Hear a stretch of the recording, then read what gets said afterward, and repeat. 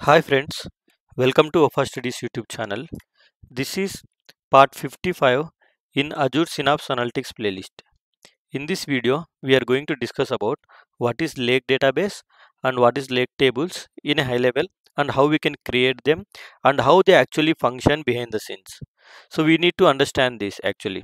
So if you have watched my previous videos of Azure Synapse Analytics, by this time you already know that in Synapse we have serverless SQL database we have dedicated SQL database. So let's assume this is like a serverless SQL database and we have dedicated SQL database. So these databases like a SQL databases, right? Where you have a tables and you can use the tables, you can query them. So all this we know. So what is Lake database or Spark database? So if you create a database using Spark, then that is called Spark database or Lake database okay. So how we create a database using spark? If you have seen my previous videos you know that or else uh, we will uh, show you that in this video as well. But basically where you use the spark in the synapse actually when you create notebooks inside the notebooks if you have any logic to execute this logic you will connect them with the spark pools and you will execute it. So in the notebook if you have written a code to create the database then that will actually create a spark database and it will show under the lake databases panel. So where it is let me show you that. And then let's discuss little detail like how it is different from the sql databases so let me go to uh, my browser. And in my browser i have opened my synapse workspace already. And here if i navigate to the data menu you can see under workspaces we have something called lake databases so there we see there is one uh, default database it will automatically come.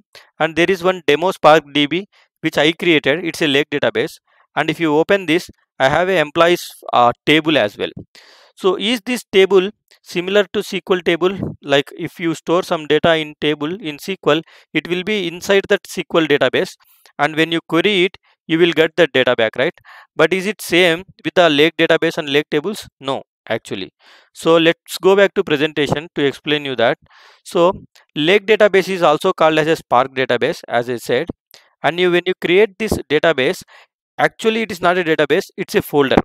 So actually it will have a folder behind the scenes on the connected storage account. So every synapse workspace will be connected one uh, with one adls gen2 account right? So in that it will create actually a folder and for you in the UI it will look like a database okay because you created a database. And when you create a tables inside of it inside that folder it will keep all the tables as a folders only actually again. I will practically show you that. So let's go here. Firstly let's try to examine whether uh, this database is there as a folder or not. So this is demo spark db right?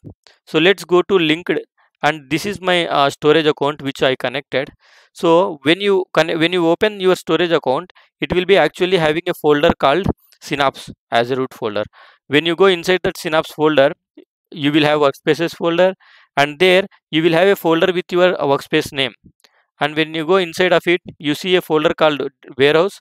And if you go see this is where you can see my folder which actually matches with my lake database name so database is actually like a folder behind the scenes in the storage account okay? And you see there is a employee table right? If i go inside this folder i should see a folder with the table name as well right? And when you go inside of it i see some files is. So actually from this files which are there on my adls gen 2 from these files only data is coming into this table. So this table won't have any data by itself actually. So it is referring to a data which is there in in some files. If i insert some row into this table it will create one more file here basically. So basically it's like external tables what we have discussed in a serverless sql right? In synapse serverless sql it is similar to that. It's like an external table basically. So spark tables actually don't contain any data. It will refer to the data in some files from say from a storage and you can insert data. But you cannot update and delete the data. It, it will only happen in the spark tables version 2 actually which is called delta tables. We will discuss that in our upcoming video. So for this video what is lake database or a spark database? What is spark table? Up to there. So let me practically create one and show you. So let's go to this develop menu. And here let's try to use a notebook. Okay? Let's try to create a notebook. And here using this notebook i am connecting this to spark pool which i have already. And let me use spark sql language for my simplicity here. Okay? And now what i am going to do? Here i am going to create a new database. So i am going to write a code like create database then database name. I will name like uh, uh, spark spark db1 okay? Spark db1 this is the database name i want to give okay? So now when you use this uh, create database spark db1 and uh, when you try to execute this query it will execute using this spark pool only right? So automatically a lake database will be created. That means a folder will be created in behind the scenes on the storage account. So let me hit shift enter to execute this cell and you can see now it will start the spark session and then it will try to create the database so let's wait for the session to start here and create the database here.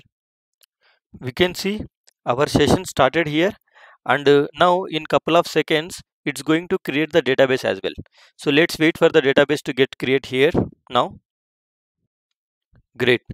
Our command executed successfully and you can see uh, it says like a no data available. Uh, actually command executed. Uh, now don't worry about this no data available. Let's go to our container and here let's go back to workspace then to the data up to the warehouse folder. And if I refresh this folder here now I'm not seeing any database here I mean any folder here basically. So let's go to data menu and let's refresh this lake databases and see you can see our database got created here basically right now our database is empty. There is nothing. So we are not seeing the folder there. But behind the scenes it created a database already. When you create one table and edit it automatically that folder will come there. I will practically show you that. Let's go to notebook here. And now here let's try to create a table. So to create a table it's like a same sql kind of syntax. If you see here create table table name and then give a column names along with the data types. So let me create a simple small small table here. So create table in spark db1 table. I want to create a table called maybe persons okay? And inside this table i want to have two columns. One is id column which is integer and second one maybe name column uh, as a string maybe okay so let's try to create a table with these two columns and let me hit this uh, run cell command to execute this and see whether this table will get created or not. So it executed successfully. If i go to tables folder i can see persons table here. But actually as i said it's a folder to contain some files in it and from that files only it will pull, pull the data. So if i go to demo container and if I refresh this here now you can see our database name came here and if I go inside this folder I see a person folder as well. But right now there is no files there.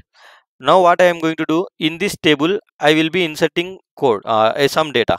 So let me write like insert into spark db1 dot persons table values. I'm going to insert like maybe id1 name Mahir. Okay. So let me insert this. Let me hit shift enter to execute this cell and once this cell executed when we go to that storage and when we see the folder we will have some file there actually. See job executing. You can see currently job, ex job execution status here.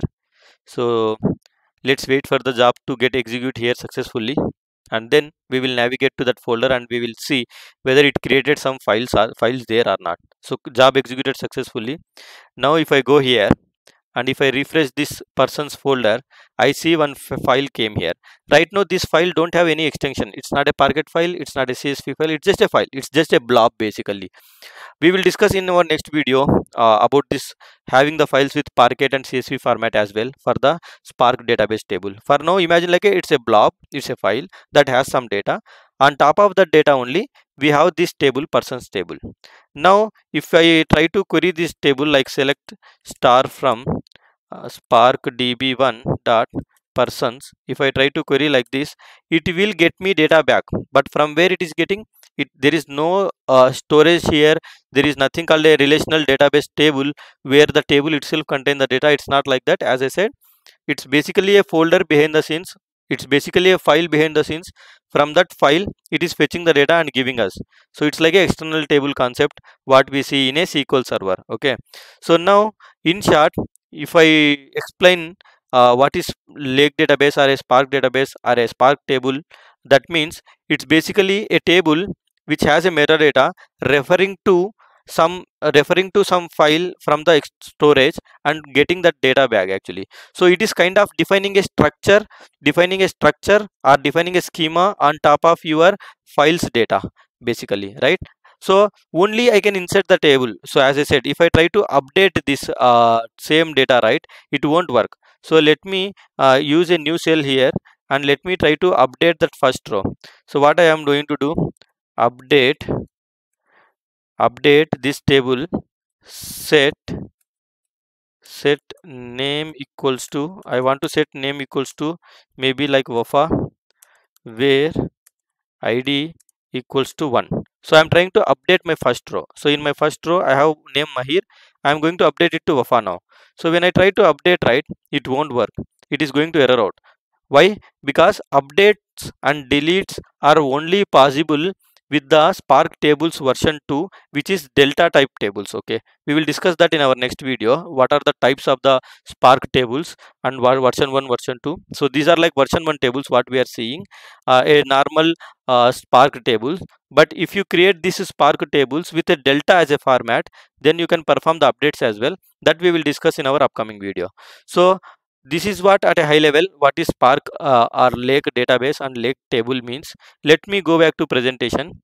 And uh, yeah so lake uh, lake database tables also called as a spark database tables. When we create them using the spark it, it actually creates a table in the lake database. But basically it refers to a, data which is there in external storage as a file format or something. We have seen it. Now this lake databases uh, tables have different formats. It has parquet formats it has csv formats it has uh, delta format. So what type of uh, formats are allowed for this lake database tables? And what is this delta table as well? That we will discuss in our upcoming video. Uh, in the next immediate video we will discuss about creating a lake database table with parquet and csv as a format and we will discuss more about it okay? So i hope you enjoyed this video. Thank you for watching this video uh, please subscribe to my channel and press the bell icon so that you will get a notification whenever I add videos. Thank you so much.